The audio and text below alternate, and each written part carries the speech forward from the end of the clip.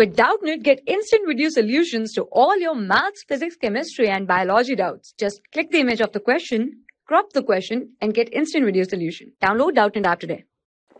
Question is two magnets of equal magnetic moment m each are placed as shown in the figure below. Resultant magnetic moment is m. The value of theta is. So we can say here that let's say this here south to north is magnetic moment m. Next here from south to north this magnetic moment is also m. So we can place these two let's say vectors let's say tail to tail.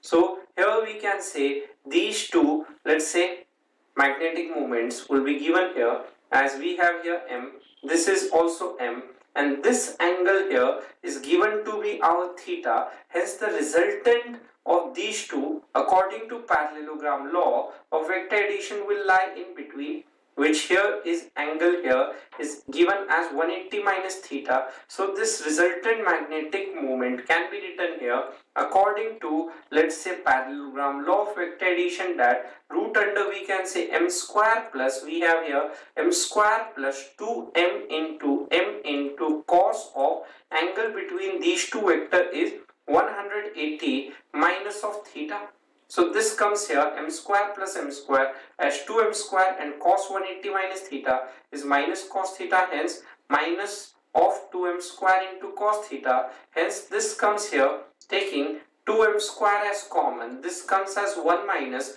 of cos of theta. And as we know 1 minus cos theta here can be written as 2 sine square theta by 2 so this comes as 2 sine square we have here as theta by 2. Now square root of this here gives us let's say 2m into we can say as sine of theta divided by 2. So this is the net magnetic moment. The resultant magnetic moment is m. It says the resultant magnetic moment here is also equal to m. So m and m cancels out hence value of sine theta by 2 comes out here as 1 by 2.